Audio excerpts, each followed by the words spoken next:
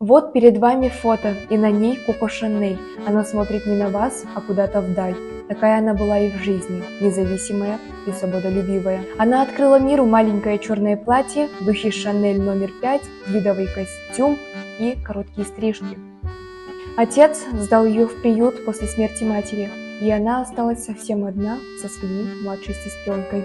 Коко ненавидела приютскую форму, поэтому и стала одной из законодательниц моды.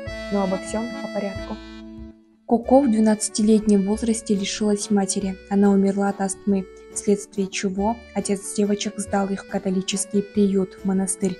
Судя по всему, другого выбора у него не было.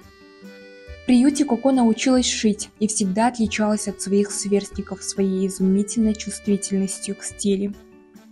В 18 лет она покинула приют, устроилась работать помощницей в трикотажную лавку. В свободное время по вечерам она пела для офицеров в концертном зале, где и получила прозвище на всю жизнь Коко за исполнение шуточной песенки под названием «Коко». Vous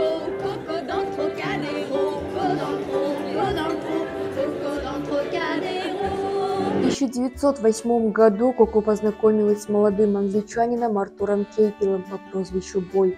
Бывалый сердцеед в нее влюбился, и она ответила ему взаимностью. Кейпел посоветовал девушке открыть собственный магазин шляпок и обещал помочь финансово.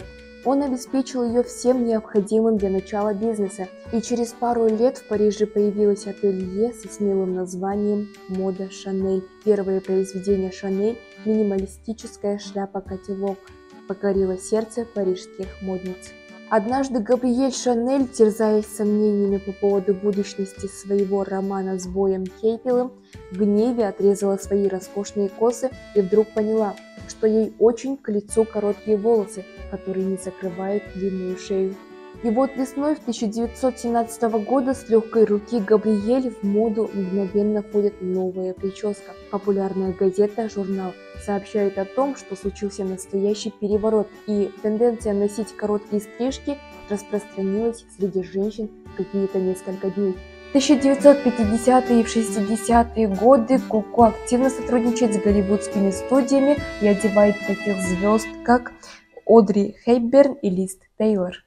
Коко Шанель работала до последних дней своей жизни. Умерла на возрасте 88 лет в отеле, который находится напротив знаменитого дома Шанель.